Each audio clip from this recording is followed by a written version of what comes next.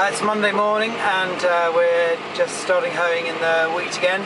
A bit of a frost last night and a bit of dew about, which means we can't get going until that's really been burnt off. Otherwise it sticks to the wheels on the hoe. Uh, the dirt sticks to the wheels on the hoe. Um, I've been having a, a, slight problem with the RTK uh, this year. Um, it seems to be uh, fine, it matches up with these tram lines. Um, on a level flat field but I've noticed that on a side hill uh, it doesn't seem to match up. And uh, I was uh, assuming that it was a problem with the RTK but um, I think uh, it's more of a problem with the, the fact that um, the RTK system is attached to the tractor and not to our drill, our um, sowing equipment. And uh, I think what's happening on a side hill is that the um, the drill is uh, drifting to one side and so um, making the tram line slightly away from the mark that the uh, RTK system think, thinks that it is.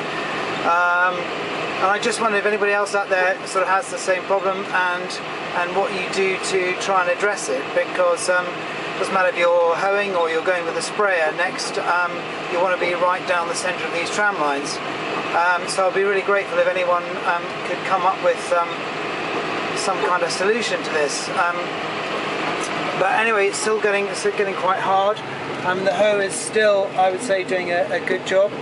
Um, uh, in this field, there's one or two volunteer beans, uh, but there's also some charlock as well, and it's pulling um, the charlock out that is obviously in the rows. Um, sorry, in, in in between the rows, but not um, in the rows. So um, the only way that we're going to address that is by later coming in with our weed surfer and chopping the tops off the uh, charlock, which actually um, we really bought it to do sort of wild oats, but actually it's been a fantastic machine for for doing um, charlock as well. Um, so we've had good results with that.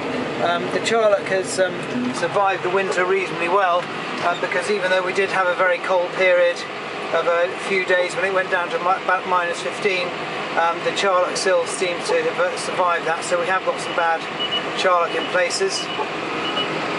Uh, but hopefully, as I say, the weed surfers will uh, get that sorted out uh, just before, just as, as the uh, the flag leaf sort of comes out on the wheat.